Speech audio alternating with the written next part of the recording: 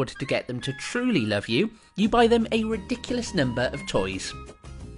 None of which actually get played with.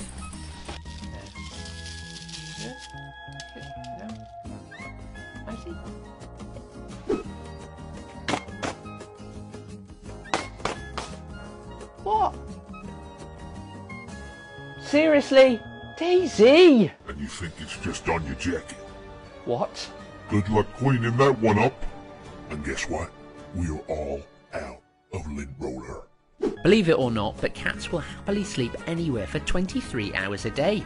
But be guaranteed that they will 100% wake you up in the middle of the night before your alarm is supposed to go off. Love and affection is a must for any cat dad. Oh, hello, little one. Are you a good girl? Are you a... That is, if your cat actually loved you back.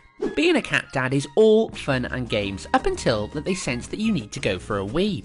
Oh, Daisy's gonna have to get up. I'm desperate. Seriously, please move.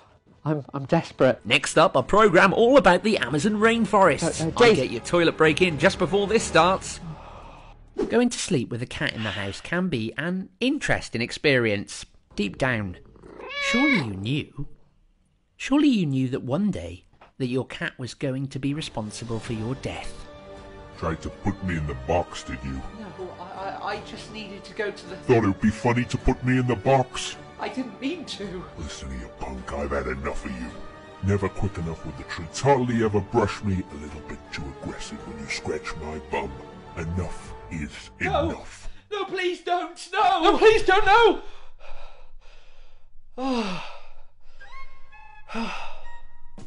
You're just chilling. Come on. Should we take a selfie?